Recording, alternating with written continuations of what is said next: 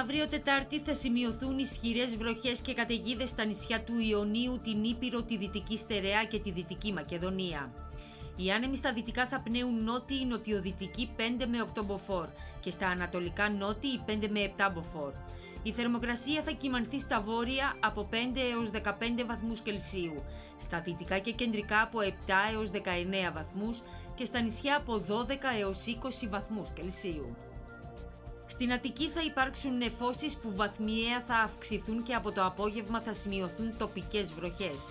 Οι άνεμοι θα πνέουν νότιοι 5 με 7 μποφόρ, ενώ η θερμοκρασία θα κυμανθεί από 11 έως 19 βαθμούς Κελσίου.